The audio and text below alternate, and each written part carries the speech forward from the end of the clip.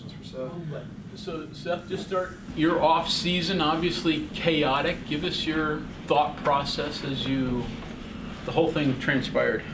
Um, personally, the thought process was uh, control what you can control, and um, just continue to work through uh, what's going on around you. What were you controlling? Uh, just you know, being in the gym every day, stuff like that, and um, that's pretty much it. That's all I could control. You're, you know, you just played the scrimmage. You're allowed to talk about that now. What were some of your thoughts on, on that first scrimmage and how you guys operated and interacted together? Um, I thought we played well. Uh, definitely, there's some things that you know we have to improve on, uh, but that's what those scrimmages are for. But I think considering that it was our first time really being a team and being together, I thought we did really well. How much do you really know these guys? I mean, not a lot of open gym. I mean, a lot of these guys didn't get here till beginning of school. I mean, you guys are still trying to learn each other, right? Right, but um, the good thing is off the court, we're always around each other. Um, we're building chemistry and camaraderie that way, just hanging out, you know, doing team activities together. And, you know, uh, the good thing about that is I feel like I've known these guys my whole life, you know, doing stuff like that. So. When they zig, and do they zag, or are they still? Or is that all coming together a little bit on the floor? Yeah, it's starting to come together. It's starting to come together. Uh, naturally, over time, things like that, that just become second nature. You know what a guy likes, you know what a guy doesn't like, but uh, it's coming together though. Seth, coach has been talking about through the preseason about how he's kind of revamping, changing the offense, uh, changing the offensive philosophy, spacing. Uh, so obviously, the scrimmage was kind of really your guys' first chance to see it against somebody different.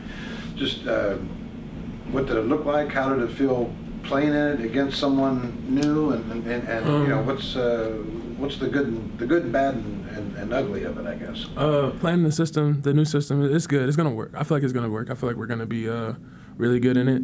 Um, also, I feel like too, like like naturally, there's things you could improve on spacing and stuff like that, but that just comes with reps, Yeah. reps, and then again, chemistry, camaraderie. Uh, some guys may not like the corner shot. Maybe he likes a shot on the break. It just depends on stuff like that. But I think it all in all is going to be good for us. You took a lot of shots last year, a lot of tough shots, uh, but mid-range shots. Uh, Could this offense suit someone wi- with your capabilities, do you think? Um, definitely. Uh, there's a sense of freedom, um, and there's a sense of ability to make reads and stuff like that. So I feel like that'll definitely help and, you know, be good. Is there a shot you don't like? No comment. Playing with Kerr, is he a different style point that you've dealt with, and, and what's his? What do you have to do when he's he's out there? Um, definitely it's different. Um, naturally, you have to always have your head on a swivel because you don't know where he's gonna throw the ball. You know what I mean? Like he might throw it behind his head, he might throw it behind his back. You never know what's gonna happen. Uh, so you got to have your head on a swivel and just be ready to uh, knock down shots.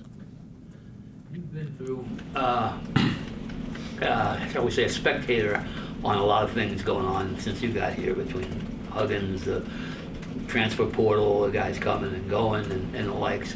Uh, how important has, you know, you said you sort of retired to the gym and Right. how important has that time been to, to, to just clear your head and shoot baskets?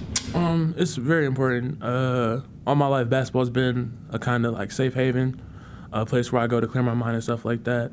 When there's distractions and stuff I can't control, so that's the one thing I know I can't control. I'm like what I'm doing in the gym and stuff like that. So it's been vital. It's been important. You could have transferred this off season. Well, you decided not to. Why? And you know what went through your thoughts? Um, to be honest, uh, I'm a man of faith. Prayed about it, um, and my heart was here. I wanted to be here, uh, regardless of what was going on. That's where I wanted to be. So I just I stayed.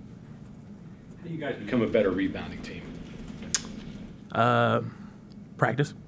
that's about, that's about Be it. A gang rebounding team. Uh, definitely, definitely. Um, when you got a guy like Jesse Cook, you know the bigs that we have, Q, like, you know, naturally, you know, you think they're gonna go get all the rebounds, but at the same time, though, as guards and wings, we got to go help as well. You know. So when you guys play on Friday in front of the crowd for the first time, obviously a lot of fans have known what the programs look like over the last few. So when they see it on Friday, is it going to look drastically different, a little bit different? Uh, you know, Uh, thoughts there? I mean, To that, I'm gonna say they gotta wait and see. Uh, I think it's gonna, like I said, all in all, I think it's gonna be good. But uh, wait and see. It's gonna be fun. Not a very deep team, so I guess all hands on deck, right, for this team. Everybody's got to go in with the, the mindset, I'm, I'm going to be needed. Yeah, definitely. Um, you know, but I feel like with any team, that should be the mindset anyway. You know, because at the end of the day, we all got the same goal. We all want to, you know, win games and obviously play the last game of the season. So I feel like that's the mentality the whole time. What did you work on to improve your own individual game in the offseason? Um, working on uh, reads, uh, shot selection, you know what I mean, stuff like that. Uh, figuring out what's a good shot, what's a bad shot, and then actually um, working on you know handling the ball more, stuff like that. But just trying to touch up all parts of my game, improve the weaknesses, and keep the strengths to strengths. What, what's Josh like as a head coach? Josh is great. Josh is great. Um, him steering the ship with the staff we have, you know what I mean? I I love it. You know, I have all the faith in the world in them, And um, I'll run through a wall for all of them. So, Treadmill retired? is Treadmill retired? Yeah. So far, but I don't want to jinx it, son. So far, but I don't want to jinx it. But it's still there. It's still there. It's still there. We still use it. You know, it was more of a conditioning off-season tool.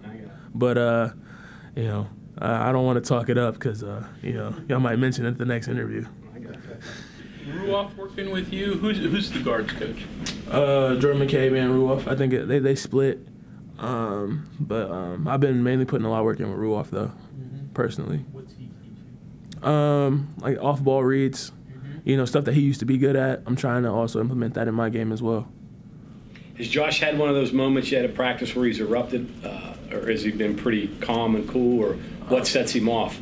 Um, it's been pretty calm. It's been uh, pretty calm, cool. Naturally, he gets after us, you know, if we're messing up. But the beauty of it is we do have an older team, so you know, a lot of times, you know, we kind of handle, we handle our situations, you know, before it even gets to that point.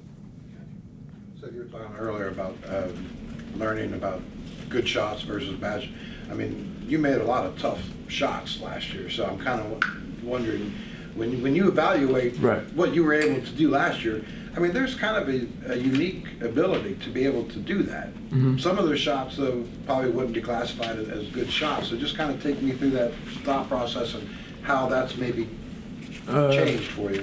a lot of times um, we're just working on you know timing of shots you know uh, looking at you know shot clock situation those things like that um, nothing to do with taking away natural aggression or ability but just you know making sure that we implement also as well you know like i said timing and knowing when certain shots are needed and when not Green light? Is he pretty good, Josh, with the players? Green light, good shot, good shot, that kind of thing? yeah yeah we uh, have a saying we never get mad at a, uh bad shot, at a uh, good open shot so like we never get mad like say for instance you miss a, a open one if it's a good one who cares next play Going along with the idea of taking tough shots, if my memory serves me, uh, statistically, you had very few turnovers last year. I mean, like almost none.